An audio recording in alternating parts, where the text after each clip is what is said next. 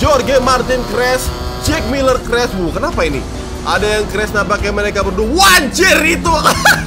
itu kok pada ambruk di situ. Di tikungan ke-6 badan di Pedrosa.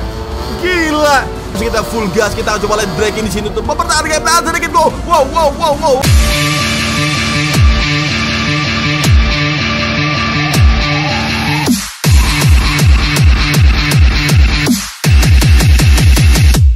Saitama 先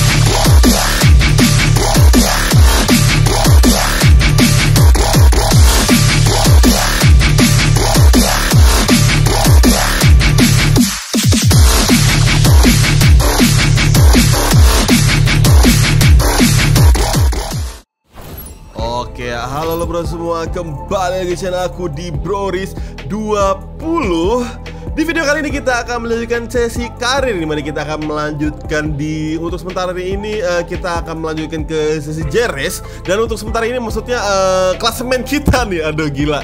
Klasemen kita sekarang kita untuk sementara masih berada di klasemen ketiga ini. Mana di race sebelumnya di Portimao Kita berhasil mendapatkan podium 1 Sehingga klasemen kita bisa menaik dan hanya berbeda 16 poin dengan Francesco Bagnaia. Gila. Kita akan berusaha tetap kejar supaya menjadi top klasemen dan untuk sementara waktu kita tidak ada yang bisa dikontrak kecuali eh ini pun juga belum bisa cuy, masih 4 mingguan lagi. Jadi ya masih lumayan lama cuy ya untuk eh, mengupgrade-nya. Menunggu jadi upgrade ya mas maksudnya. Dan ini ada sebuah ini tapi ini kelasnya A. Kita reject langsung aja bro ya. Karena aku suruh yang kelas S plus. Dan juga yang replacement telemetrisnya itu S cuy. Yang namanya Iki Sakamoto. Ini namanya lock Gokil cuy Namanya itu Iki Sakamoto Kalau bahasa Jawa itu. Ini Sakamoto cuy Keren.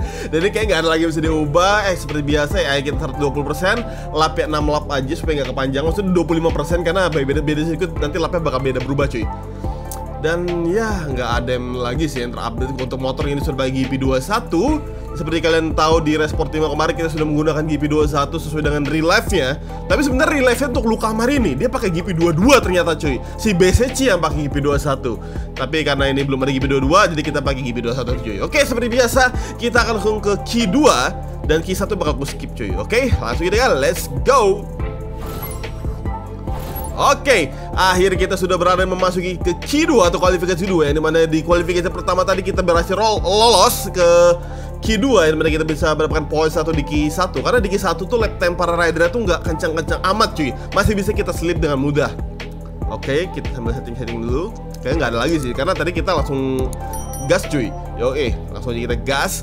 Dan ya, semoga aja kita bisa bahkan good lap time di Jerez ini cuy. Karena Jerez ini banyak tikungannya cuy, kayak kurang serak untuk Ducati sebenarnya. Tapi nggak apa-apa, kita akan coba gaspol cuy ya Oke, kita sudah berada di tracknya ini untung sepi karena di Q1 tadi aku sempat nabrak cuy Karena tiba-tiba ada yang nongol cuy di ah, di flying lapnya Jadi langsung ketabrak gitu, gokil nggak tuh Oke, memasuki ke final corner Tikungan Jorge Lorenzo Gila Oke, langsung kita gaspol di sini. Yoman yoi. Berapa catatan waktu kita yang akan kita dapatkan untuk sementara waktu ini? Apa itu? Eh, Jorge Martin itu ya, yang mendapatkan 1 menit 38. Oke, mulus saja di tikungan pertama. Langsung kita berjegas dengan Desmo Serici ini. Walaupun kayak jujur, buat aku ini kayak buat aku pakai Ducati di harusnya kayak rada susah dikit cuy. Karena ini layout ini terlalu eh, membutuhkan aerodinamis yang lebih tuh. Yang di mana aerodinamis yang lebih itu kayaknya lebih mengarah buat aku pribadi. Lebih mengarah seperti contohnya Yamaha ataupun Honda. Baru jadi bilang aku ngelebar di tikungan kelima Tapi masih bisa di recovery kembali. Dan sementara ini kita bisa berikan bar merah. Oke, di sektor pertama. Oke, Jorge Martin crash Jack Miller crash. Wuh, kenapa ini? Ada yang crash nampaknya mereka berdua. Wanjir itu. Itu kok motor pada ambruk di situ. Di tikungan ke-6 badan di Pedrosa Gila Wah itu, itu gimana cerita itu? Itu nggak satu dua motor, itu kayak lima motor ada yang jatuh di situ. Tuh, Alex Palgaro jatuh lagi tuh. Oke, fokus dulu, fokus dulu cuy. Dan by the way ternyata di sektor kedua kita berdepan bar merah di uh, bar keduanya kita dapat bar merah, nice. Akan kita bar ketiga ini. Oke, satu tikungan lagi. Oke, nice. Kita berangkat masih bar merah. Gila. Kita masih berangkat bar merah loh di sini apa karena ini?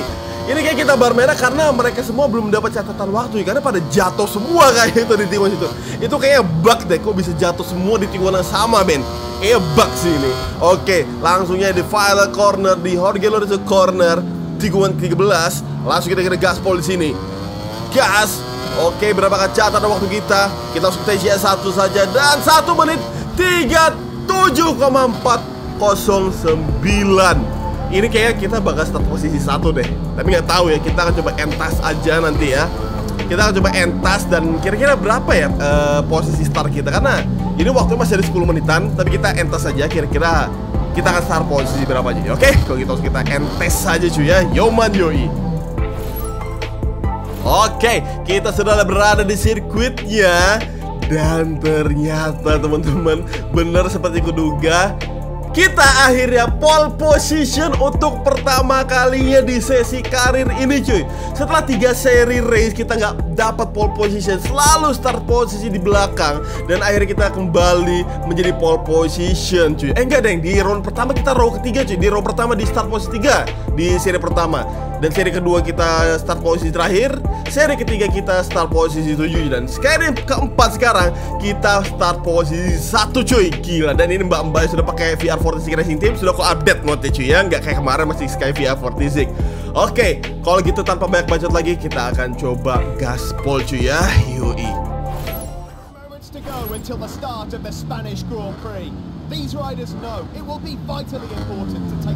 To. Oke, kita sudah berada di garis start. Lampu merah sudah menyala, race sebentar lagi mulai. And here we go, let's push to the limit with Ducati Desmolisi GP21. Langsung ini gas polisi menuju first corner, langsung breaking dan nampaknya dua Ducati langsung melezat melewati dari sisi dalam dan ada yang crash, ada yang crash di Renato Suzuki. Juan Birkas tadi.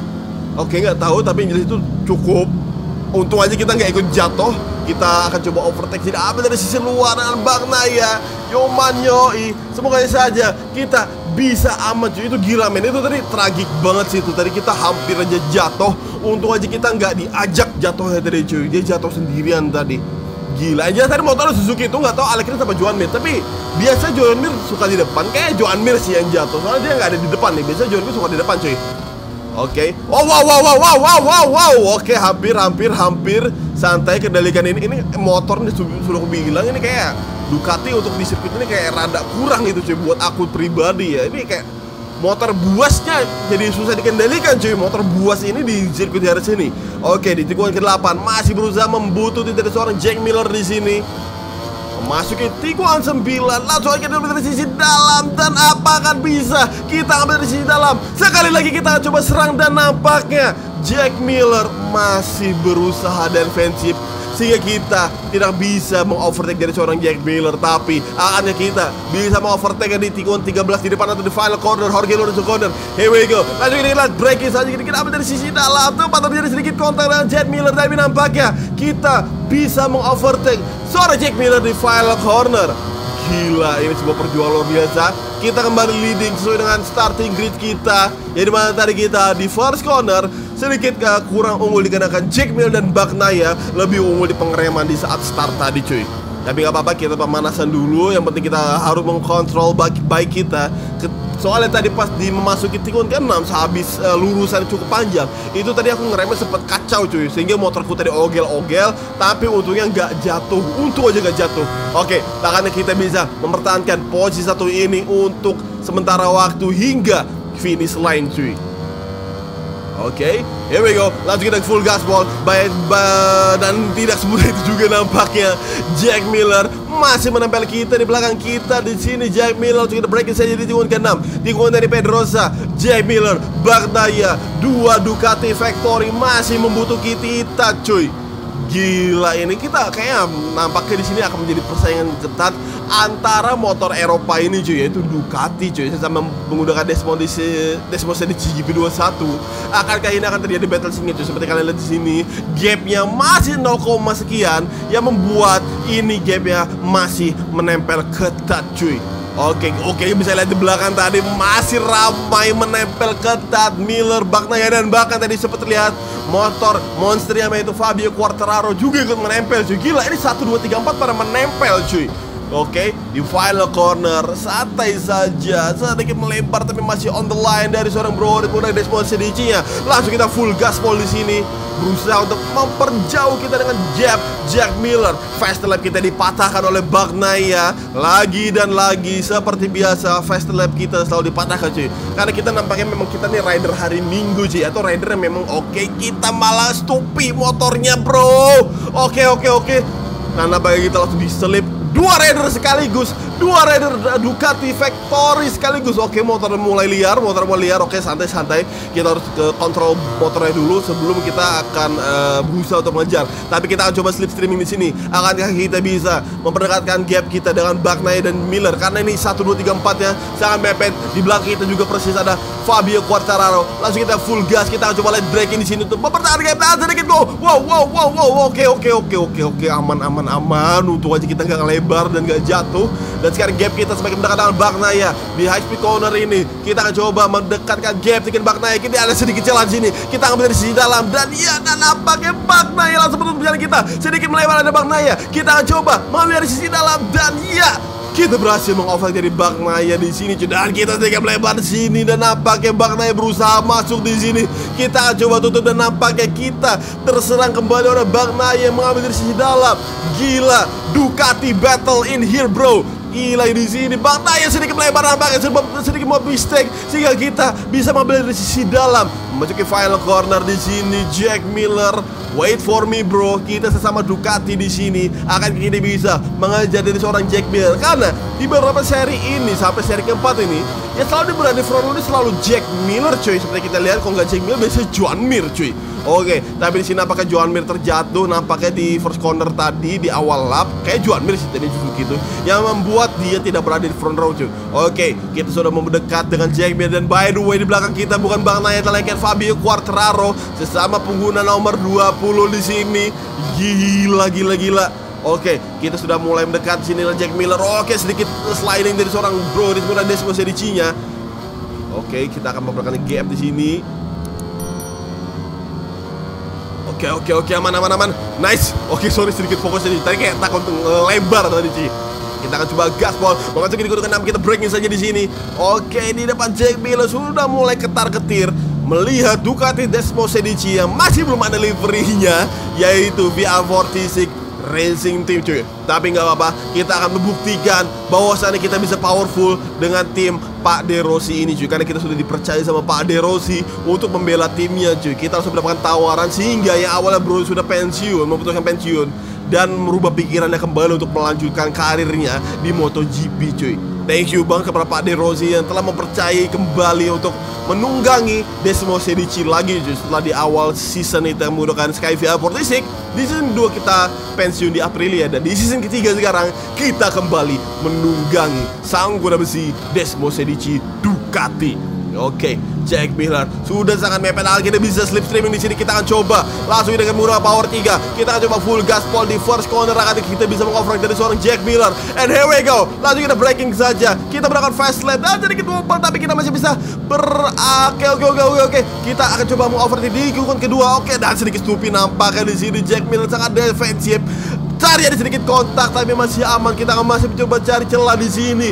Di depan di tikungan keempat. Akan kita bisa mengoper dan ya kita sedikit oke sedikit kontak dengan Jack Miller. Hampir sih kita jatuh dari controller itu sudah mulai geter-geter. Yang bertanda, bertanda itu kayak tadi sudah mau jatuh. Tapi untuk aja kita masih bisa menghandle dan kita berhasil mengovertake dari seorang Jack Miller Gila ini battle bener-bener sengit banget cuy. Ini kayak race paling sengit setelah beberapa season cuy. Maksudnya beberapa seri cuy Setelah ini mau masuk ke seri keempat.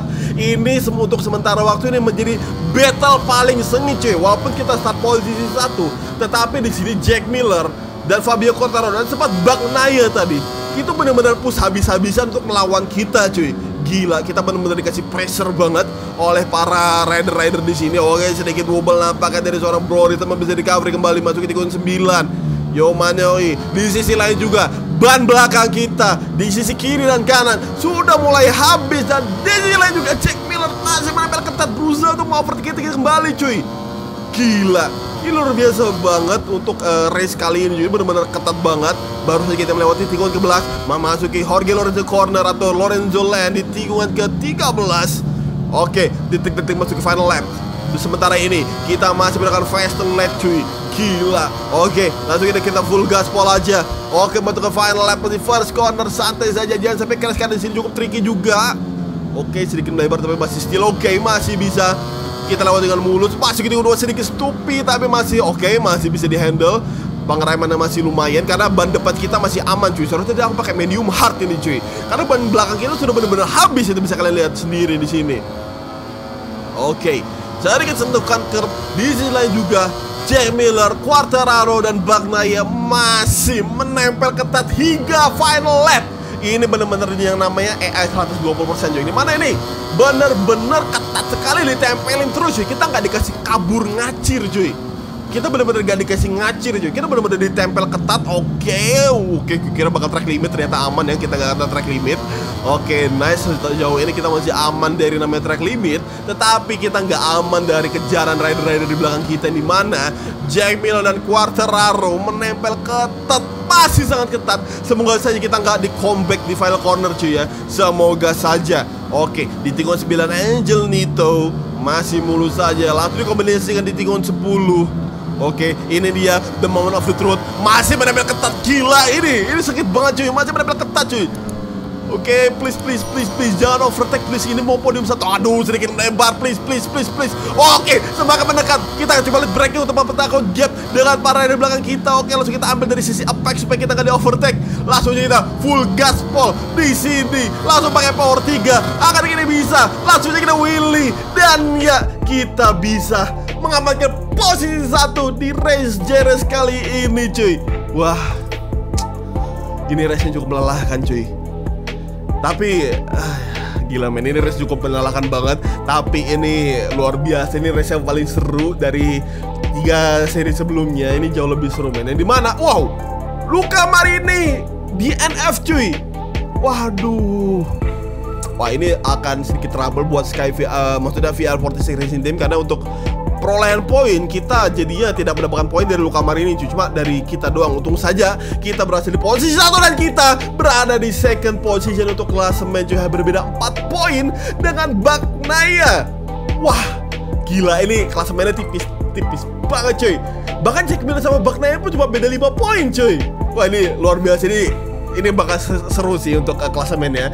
Ini bakal seru dan kita masih di posisi keempat Karena Luka Marini nggak finish. Jadi kita nggak dapat tambahan poin Untuk menaikkan posisi kita menuju ke top 3 tadi ya. Kita karena masih berada di posisi keempat untuk VR46 Racing Team.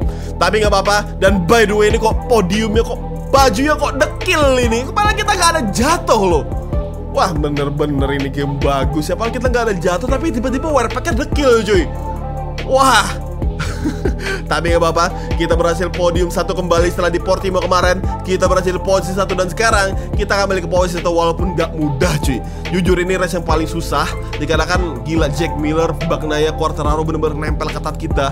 Bahkan kita sempat di overtake sama Jack Miller dan Bagnaia Untungnya kita bisa mau overtake balik cuy Walaupun tuh gak mudah cuy. Dan bisa lihat sendiri gak cuma aku yang dekil cuy. Quartararo sama Jack Miller juga dekil warpack ya Aduh semoga aja untuk di MotoGP 22 nanti setelah rilis Semoga aja nggak bakal bug-bug kayak lagi ya. Semoga aja game sudah perfect 100% Oke sampai situ aja videonya. See you on next video cuy